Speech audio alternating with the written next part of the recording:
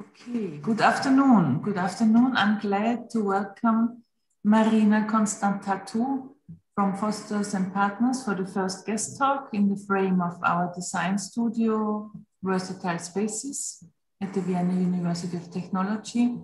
The studio is a joint project between the Department of Building Construction and Design and the Department for Structural Design. And before we hear more about the integration between architecture and engineering on Earth and beyond, from Marina, I will shortly introduce uh, her to you. Marina Konstantatou is a researcher of structural design, form finding, and architectural geometry.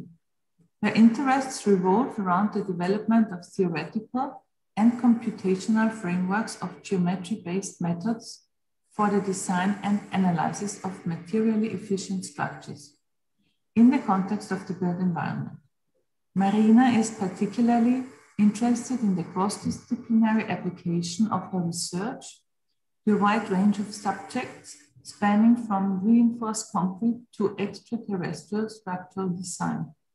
Her background is in applied mathematics and physics, after which she specialized in computational design at the Emergent Technologies and Design Master Program at the AA and in civil engineering at the University of Cambridge. Marina holds a PhD from the University of Cambridge on geometry-based structural analysis and design, for which she also won the university's CESA Award, which is an award for outstanding research with real-world application. Currently, she holds a research and um, position at Fosters and Partners in the specialist modeling group. Uh, Marina, welcome to our design studio. We're happy to hear your talk today, and we're also looking forward to hear your input on the students' projects next week. Welcome. Thank you very much. Thank you very much for the invitation. It's uh, great to be here and um, give a talk. Um, so let me see how I can share my screen first. Okay.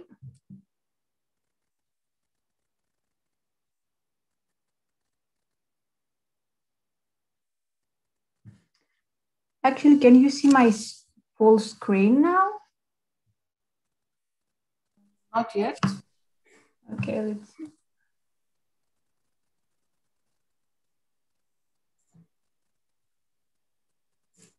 Better now? Um, I cannot see anything. Ah.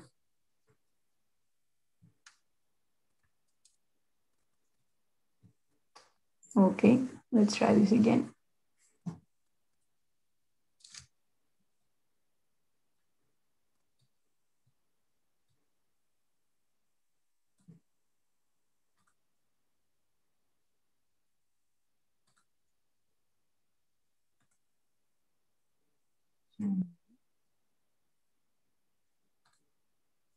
Now? Not yet. Ah, yes, yes, I can see it. Perfect. Okay, great. Um, right, so um, thank you very much for the introduction, Sandra. Um, so, uh, yeah, my name is Marina, and uh, I'm quite keen on structural design and generally on the integration between uh, form and design with uh, the performance and the analysis. Uh, so, first, oops.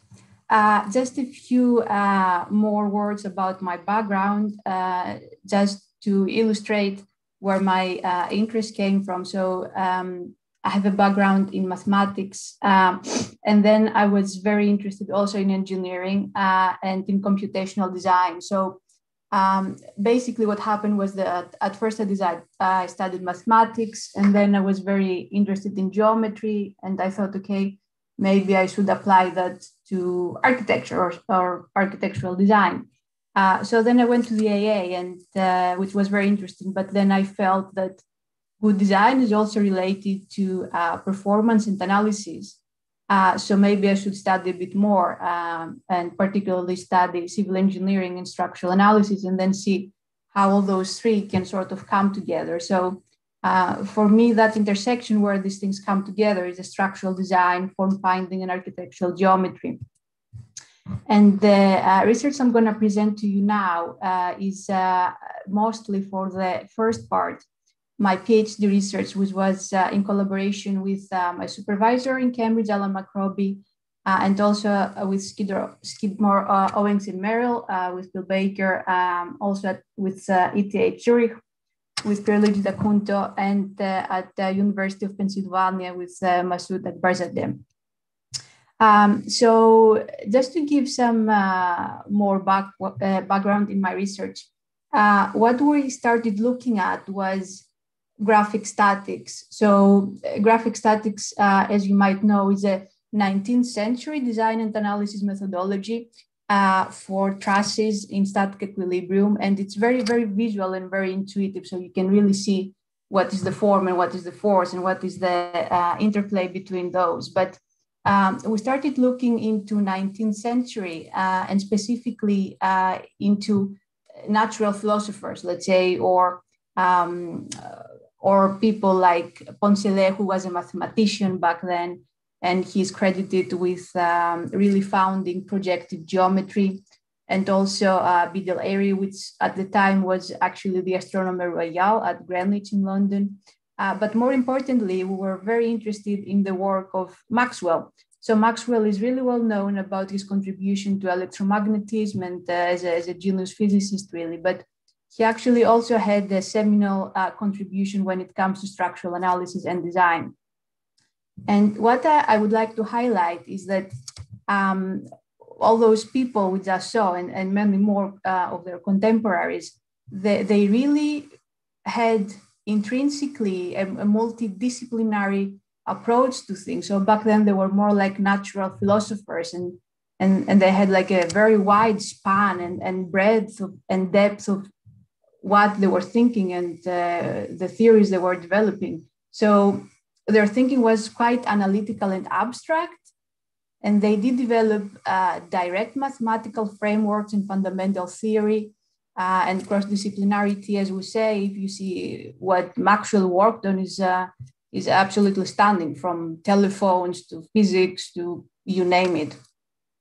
And for me, something to really take from that time is the understanding of first principles so nowadays we have really fantastic computational tools that they do allow us to experiment a lot and do all those generative design examples. But at the same time, I think it's important not to forget that we, we really need to understand in depth um, what are all those first principles behind those.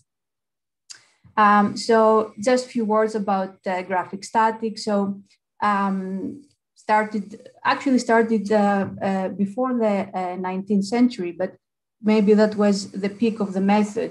Um, so you have this notion of form and force. So in those drawings here, you see reciprocal diagrams. So a two-dimensional truss can be uh, just depicted as a form diagram. And then with uh, geometrical manipulations, you can find the force, its force diagram. So um, its bar of the form diagram is basically just like a beam or a truss member. And then the force diagram, the length of its edge is actually the axial force. So you can really see how big are the forces. And uh, why this is also uh, quite interesting is that by changing something in either the form or the force, the other diagram is updated as well. So those are interlinked. So you can uh, play around with the form and see what happens with the forces. And more importantly, you can start designing with the forces and see what is the form that is going to emerge and which is in static equilibrium. Uh, but as you might suspect from the drawing on the right, if you wanted to uh, draw something a bit more complicated, that required quite tedious hand drawing. And uh, what is more is that imagine now uh, in the table on the right, if you wanted to slightly change something and make a variation, you would have to draw everything from the beginning. So um, graphic statics uh, decayed a bit, I think, uh, at the start of the 20th century, but at the same time, they, they, they were, um, they were still uh, applied from some uh, very important researchers. Um, and what we see here is a, is a famous paper by Michell on the economy of uh, trusses. And you see those very beautiful uh, forms emerging. And the thing is that behind them, behind their geometry, you have uh, this notion of efficiency. So this geometry is the direct result of the truss being very efficient, actually. And you have this beautiful sort of uh, phyllotaxis pattern on the right. Um, so even though graphic statics uh, sort of uh, uh, were not very popular as they were uh, in the 19th century, during the 20th century, they, they did survive a bit, and specifically in the context of structural morphogenesis. So here we see a very nice example of, of a bridge by Maillart. And what he did, as you can see at the diagram at the bottom, was that with graphic statics, he started experimenting with his drawings to uh, find the resulting form of the bridge. And something to mention is that, uh, if I'm not wrong, I think he did three or four drawings um, uh, as iterations of the design only. Uh, whereas today, with our computational tools, would be so much easier uh, to do uh, studies and slightly change things and see what happens and all that. But as we said before, it's important to keep in mind that we should try to have both. So this ability to iterate and explore a lot, but at the same time, really understand um, what is happening and why we're doing it. Uh, so uh, this is a, a, great example, I think, of a materially efficient structure. So that's uh, uh King's College Chapel in uh, Cambridge, University of Cambridge. So if you uh, are in the area, I really recommend to go and see the structure. It's a really beautiful, um, uh, fan uh, ceiling uh, masonry roof. So that was built, if I'm not wrong, 16th century. So back then, the, the professions were very different to what they are now. So we didn't, they didn't have back then the specializations that we, we now have and the boundaries between professions. So the architect and the engineer and the craftsman were, I, I think, pretty much the, the, same person. They didn't have these very concrete uh, distinctions that we have today. Um, however, that as a result had that the structural performance was really interlinked with the architectural form. And that could lead uh, to material efficiency, uh, like in this example we see now. However, today things are different. So the architect, the engineer, and the craftsman, they're normally different people, and it's a bit uh, difficult sometimes for them to communicate and understand each other. Uh, moreover, the structural performance uh, today is not really interlinked with the architectural form. This means that sometimes what can happen is that the, the architects can uh, design a form and then they give that to the structural engineer. And then the structural engineer is expected to do something for the form to stand. Um, however, this uh, discrepancy between the two can lead to material inefficiency. So uh, what can we do and uh, what shall we do? And uh, one of the possible avenues that uh, have really sprung recently is uh, this uh, reemergence of graphic statics. And this is because graphic statics really interlinks, as we saw, the, the form and the force, and in a really visual way. So maybe the way for architects and engineers to be able to communicate more is a common language. And that common language could be the visual language of geometry. And if you're interested in graphic statics, um, I do encourage you to see the literature at the moment because it's a really rapidly uh, evolving field uh, with computational frameworks, uh, theoretical frameworks as well, and uh, quite a lot of researchers working on this. Um, so what I'm going to present to you today is a particular approach in graphic statics. And this approach is uh, really uh, based on the concept of duality. So what this means is that geometrical elements map to each other.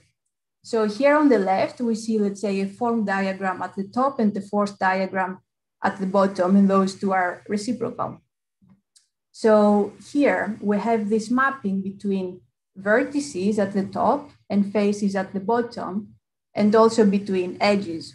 So form edges that we saw before map to force edges. And there are a number of ways where you can do those mappings.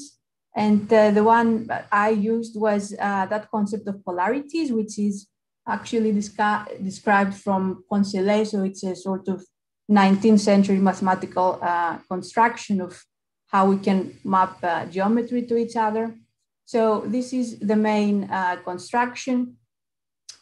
So if you start uh, with a polyhedron, then you can map this polyhedron to a dual one. And then if you project those down, you end up with this reciprocal form and force diagram. And as you uh, can see on the left, if you start moving things, so move uh, the nodes or the faces, uh, then automatically uh, all the other diagrams are going to change as well because everything is interconnected. And this duality concept uh, has also um, been applied to um, more things than uh, form and force diagrams. So for instance, uh, there are examples in literature where by using those dualities, you can transform structures to each other. So sometimes you might have designed something like a tensegrity, and without knowing it, you have also designed another structure like a grillage. So this is also something interesting to keep in mind that you might want to use this type of dualities to go from one type of structure uh, into another by just designing one of the, uh, of the two. Um, so here is the main idea. So uh, that is that if you take a two-dimensional truss for it to be in static equilibrium, so you have axial forces and static equilibrium in every node, then that is a projection of a plane-faced polyhedron. And this polyhedron is uh, what is called an Airy stress function. So the curvature of the polyhedron basically encodes geometrically the structural performance um, of the truss. And uh, why, why is this important? Um, so if you want to start designing a 2D structure and you want this to be in static equilibrium and materially efficient and have no bending and only axial forces, or for example, you want to start designing the, the roof of a stadium, how can you know that what you design uh, is, as we said, um, in, in static equilibrium. And a simple way is to make sure it's a projection of a polyhedron. And that can actually save you a lot of time because you don't need to go through uh, scripting optimization routines. Uh, you can just do it purely geometrically and actually quite simply. So in relation to that, uh, I'm sure you're aware of this uh, beautiful tensile structure. Um,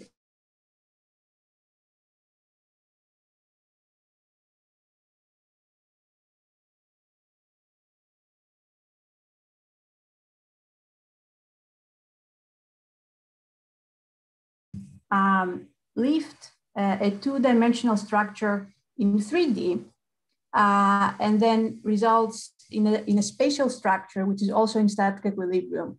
So we can use the two ideas in conjunction.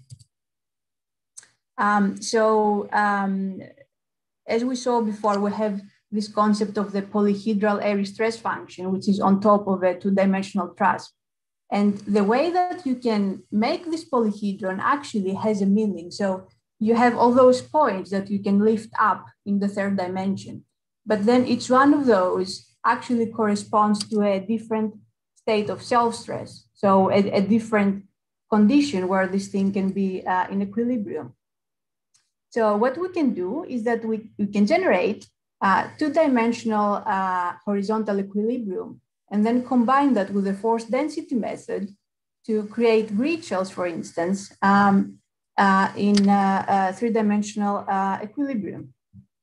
And the other thing is that by controlling the curvature of the polyhedral stress function, you can actually directly define the load path. So you can explicitly define whether your structure is in compression or in tension.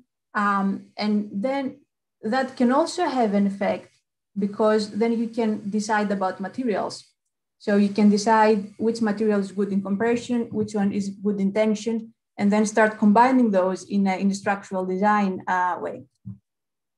And this is just uh, showing the whole methodology of how you have all those reciprocal uh, elements together and how you can um, lift your two-dimensional structure in a, in a grid shell under vertical loading, which has only axial forces and no bending. Uh, and then another thing is that you can actually combine those form and force diagrams together. So what we see uh, on the right is this sort of hybrid structure where you have rectangles. And those rectangles, they have dimensions force by length. So that also readily gives you um, an idea about your load path. Um, so as we said, a, a, different state of self-stress is actually uh, gonna give you a different form. So in other words, the state of self-stress is a design freedom. So by playing around with your polyhedral Airy stress function and consequently with your um, um, with your stresses, you end up with different grid on the top. So another way of thinking about it is that if you do freeform design, you could just open Rhino and start sculpting things and moving things around. However, that is gonna most probably result in in very materially inefficient structures. But you could do uh, sort of a, of the same thing, but rather in the form space to do that in the force space. So you can start indeed sculpting around and changing things, but then because you're doing it in the force space, you're sure that everything is going to be in equilibrium. And then the form is going to emerge as an output rather than as an input. And here are some uh, more complicated examples of uh, this idea, uh, specifically in relation to the great court roof of the British Museum.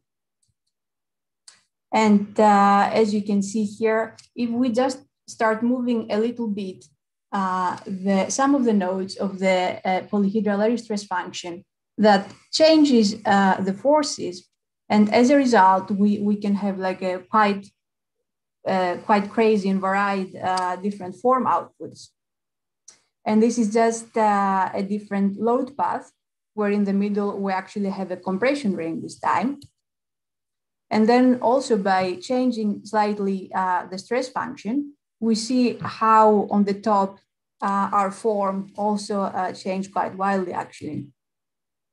Another thing to mention is that um, this method, which is direct, so you don't need the optimization methods, and it's not uh, does not rely on uh, uh, point reconstruction, um, can also lead to compression-only structures uh, like walls. So compression-only structures are actually a special case of this, and that happens when this polyhedral Airy stress function is convex.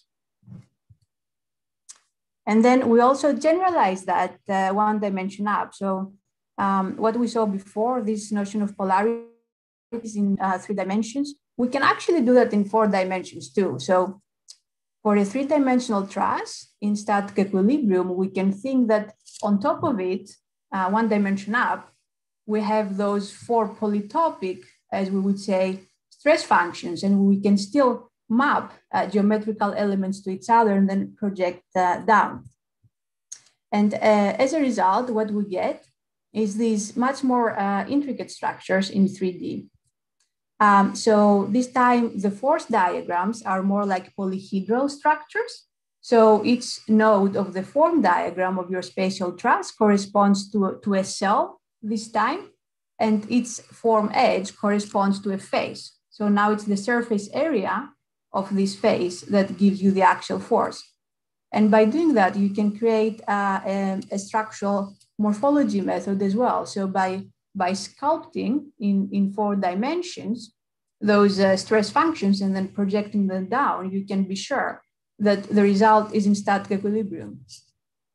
And then when it comes to applications, we were quite interested in uh, reinforced concrete. So how to design uh, discrete stress fields. And as we saw this diagram before, what was really crucial was this concept of combining the, the form and the force diagrams together.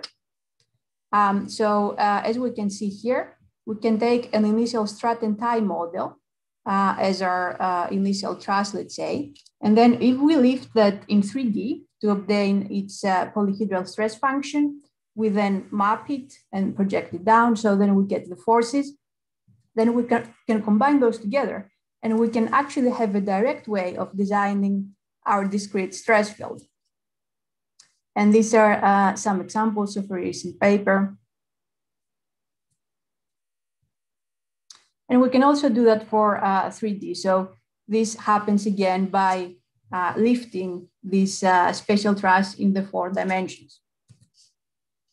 And this can also apply actually um, to uh, yield line uh, collapse mechanisms. So it's the same idea that uh, if uh, one yield pattern is compatible, then it is a projection of a polyhedron. And then we can also uh, combine the, let's say, the reciprocal form and force diagrams in the same way. So then we have a very visual way of uh, expressing the internal work as well as, as the external work uh, for uh, yield line patterns. Um, another thing is that we're also interested in kinematics so if you have these form and force diagrams, you can uh, make some geometrical rules which actually reveal uh, the displacement vectors for the truss. So here is just a rigid body motion for this simple case. Um, but here we see uh, a cube and by moving around, seeing how those uh, reciprocal cells can move around in space, uh, you, you can actually find out how your truss uh, wants to move. So what are the uh, finite and infinite uh, uh, mechanisms? And we can also do that for more complicated structures. And this is um, uh, a tensegrity structure. So this is the Jessen icosahedron. And this actually has a, a quite pretty force reciprocal. And then if we, if we start studying how all those four cells can move, that readily is going to give us uh, the, the mechanism of uh, our integrity. Um, and lastly, uh, this is um, uh, a collaboration we did with uh, a cosmologist. Uh, so I actually didn't know that um, the large scale structure of the universe can be seen a bit like a foam. So you have all those, you have those galactic um, clusters where your, your galaxies are sort of clustered together. And then you have filaments, which connect those uh, galactic, galactic clusters. And then for the rest, you have void. Um, so you, you can really think of it as, as a foam. So all the um, all the methodologies we just discussed can actually be applied here. And then what you find is that you can actually calculate in a geometrical way an approximation of, of how thick those corridors are between the galaxies. So now uh, I'm going to present a bit to you um, a brief overview of uh, the specialist modeling group at uh, Foster and Partners. So uh, this is a picture from people from when people used to go to the office. So more than a year ago, I suppose. Um, so the group has a quite a diverse um, focus of interests, and that spans building physics, such as lighting simulations, uh, integrated systems, and even architectural lighting design. Um, so we're quite keen on uh, physical natural ventilation modeling, computer, uh, computational fluid dynamics, uh, wind behavior as well, uh, solar analysis, comfort, and uh, these type of things. Um, and then the second part is geometry. So we're quite keen on complex geometry for fabrication, for construction, and also uh, my particular field of expertise, which is structural integration. So how can you really integrate the form with the forces and how you can have a resulting material efficient uh, form by taking really into consideration uh, the performance. Moreover, we're quite keen on putting all this information together in a, in a very uh, uh visual way uh, so that different practitioners that work for instance, this is uh, the uh, uh, Bank of Kuwait skyscraper. And you can imagine how many different contractors and people from all sorts of different expertise have been working on this project.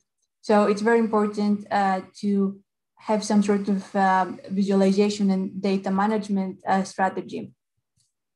Um, so here are just uh, some uh, nice recent examples of the work of the group. Uh, this is Bloomberg uh, and had this integrated ceiling for passive cooling and also lighting.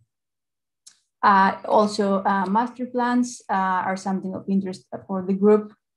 And then also um, CAD and CAM technologies like CNC and digital fabrication, especially when it comes to wood. Uh, there was a very nice project, uh, Maggie's in uh, the UK, uh, where you have those timber beams and they were uh, CNC'd and optimized. Uh, moreover, we're really looking into lattices, so how you can optimize this type of lattice structures.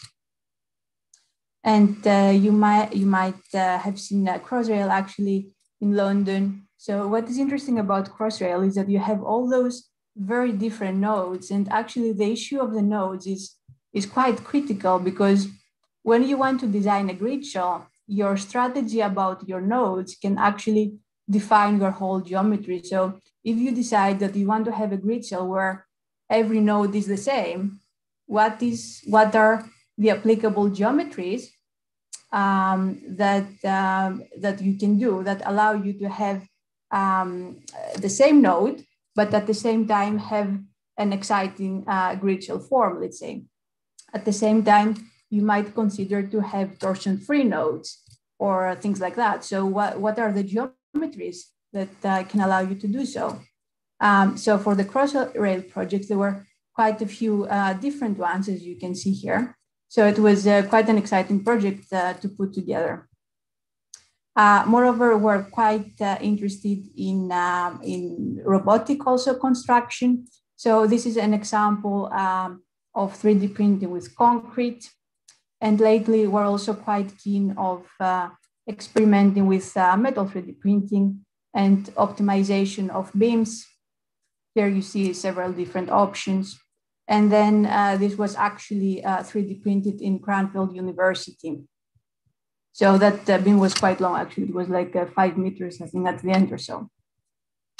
Uh, and when it comes to off-Earth design explorations, uh, quite, uh, quite a few different projects from the practice. So this is from 2012, and I think was one of the first. So back then the idea was to have those inflatable modules, and then around them, you could 3D print uh, with robots your habitat shield. And the way to do the 3D printing was based on uh, an optimization method, which was um, influenced from bone structure. So you had this porous material that, on the one hand, was relatively lightweight, but at the same time, it would indeed protect you from radiation.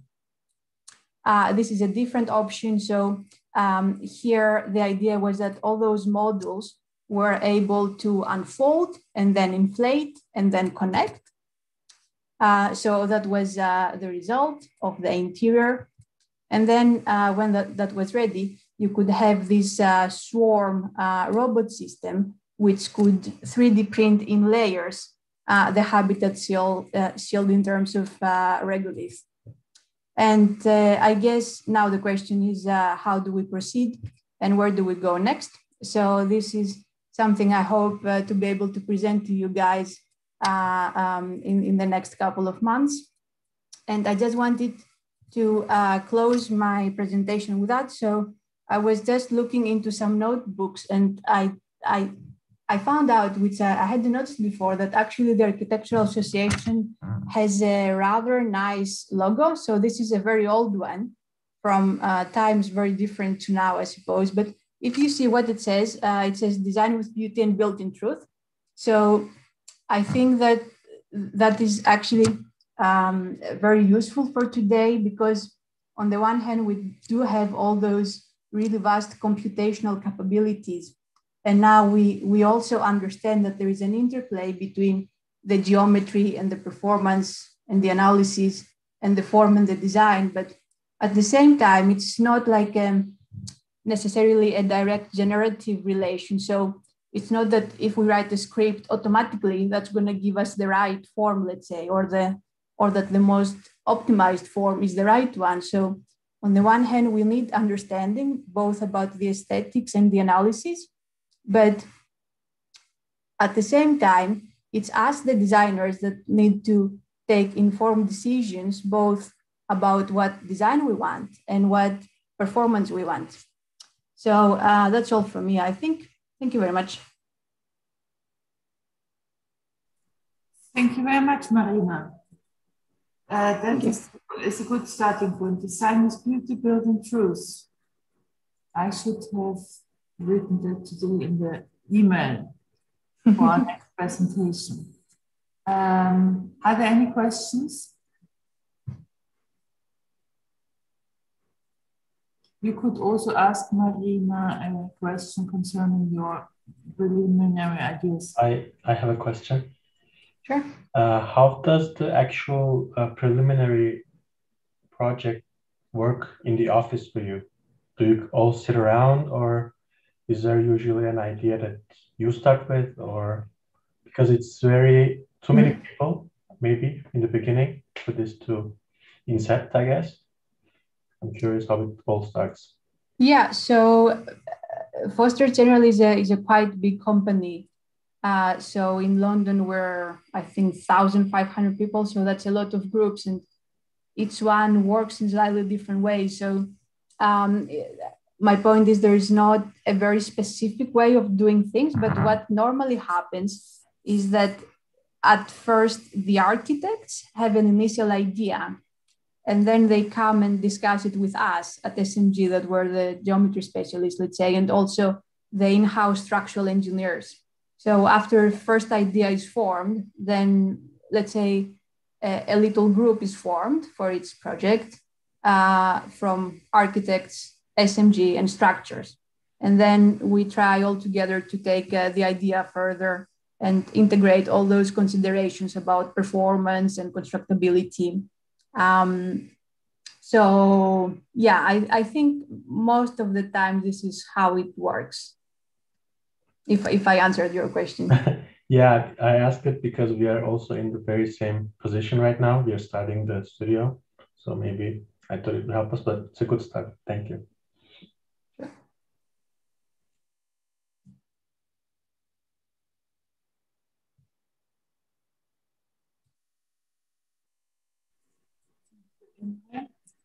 Any other questions?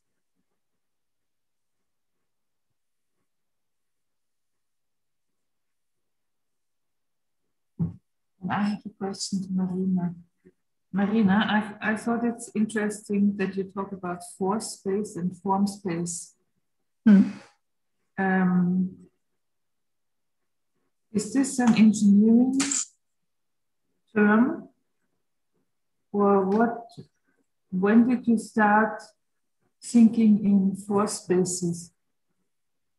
Um, so I think graphic statics is all about that reciprocity between form and force. So then that can define, let's say, your, your form um, space and your force space. Um, and what is quite interesting is that because those two are interlinked, it means that if you start doing changes in one, the other is uh, going to update automatically.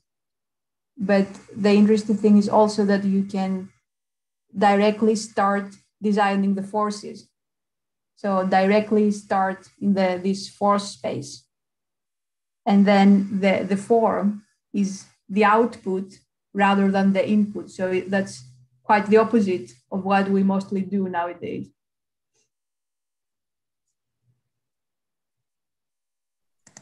Okay, um, I would have another question.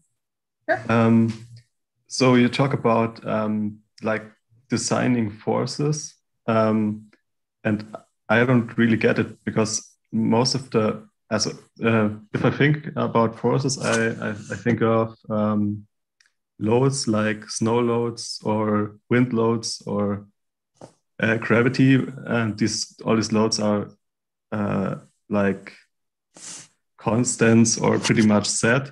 And so, if we talk about designing the force uh, field, um, do you do you talk about the, the, the internal uh, force distribution? Yeah, so I don't know if you can hear me. You're, you're a bit frozen on my screen. Yes. Ah, cool. Um, right. So yeah, as you say, for instance, we, can also have continuous loading, right? But here, for the case of grid we're mostly looking into a discrete uh, point loads. But um, one thing you can do is that you can sort of design and decide your support loads. But then, most importantly, you can decide all those internal loads. So, how much is the actual axial load, for instance, for each one of your beams? And that is to define both the sizing of your beam. So, like the the, the smallest the axial force and the less bending, the, the more efficient it is. So, the, the smaller it can be. But also, it's to inform the, the whole global geometry. So, it's what we mentioned about this relation between the state of self stress. So, what are your internal forces? Um, and how that um, really influences the, the static equilibrium of the 3D structure, given specific loads, as you say. So the vertical load is fixed and it's self-weight and snow load or, um, or what you want. But then this distribution of internal loads gives you every time a different solution. Okay, great. Now, now I get it. Yes.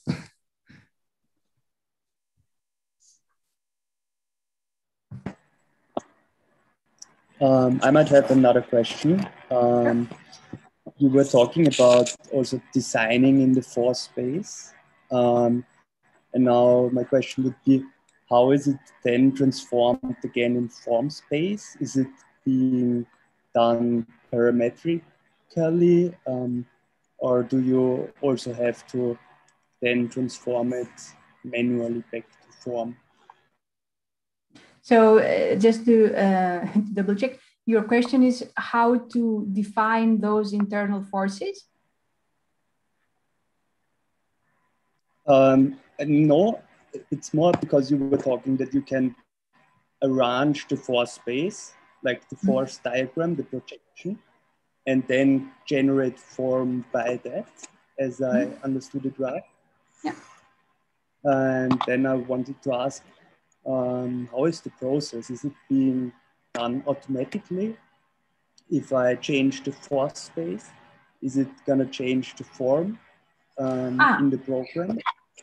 Or is it like then again, uh, I don't know, analog technique? Or no, no. It's, so it's uh, it's automatic, I would say, in the sense that, um, as we mentioned, those internal forces or state of self stress are defined from the geometry of that polyhedron, right, which lives on on top of your, let's say, 2D truss.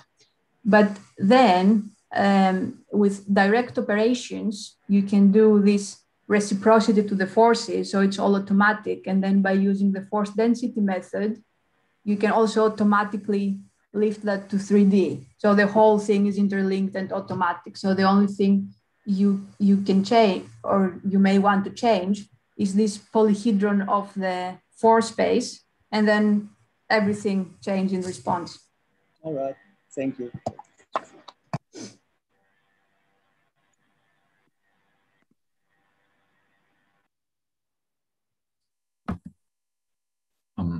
I would like to ask something as well. Mm-hmm. Um, thank you for the talk. It was really interesting. And what I wanted to ask is specifically about the topic we had to research up until today uh, self supporting structures. And in, in my case, while experimenting, I did find plenty of examples and approaches how to start building stuff like that out of elements without any uh, special joints.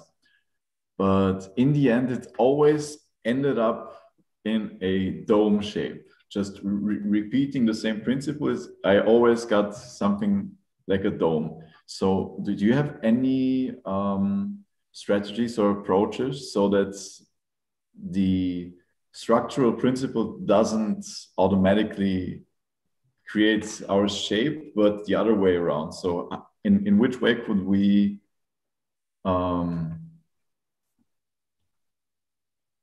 first think of a shape and then apply that structural principle? I, I don't know. Yes, it's it's kind of a big question, but I, I um, yeah, I mean, I, I mean, first of all, I think the reason why you would, uh, I'm, I'm not sure what were the approaches you followed, uh, but uh, I would assume that if you would end up always in the dome dome shape, probably you were doing like a compression only approach.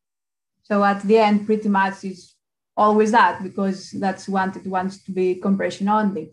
So I guess the first thing would be if you want to experiment with compression and tension, in which case you start having these more like grid shell uh, and mixed uh, load paths.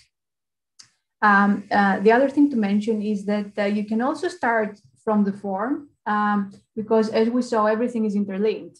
So you can either start from the form or the force. So if you start from the form, you're going to see in response what are the forces. And then if you see that those forces are not really satisfying for you, you can change them and then in response see what are the effects in the form so it's a bit like an optimization uh, geometrical uh, optimization uh, method in the sense that you start from an initial form and then by observing its forces you sort of optimize it and, and make it um, uh, sculpt it in a sense or define its load path to be compression and tension and this type of things um, so yeah, I think uh, it could be also possible to start from the form space. Thank you very much.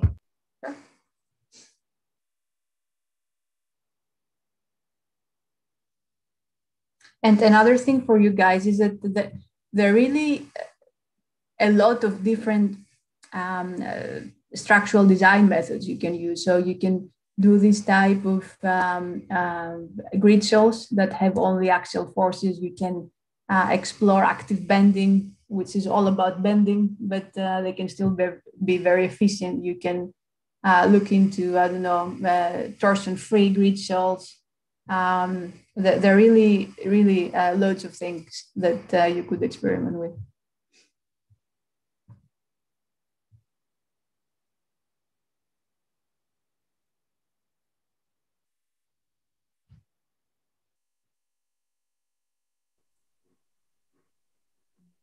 We have one more question. Maybe concerning your project.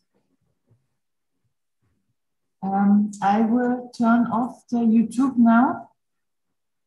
Maybe then we get some more questions. Thank you, Marina. I will You're welcome. Recording.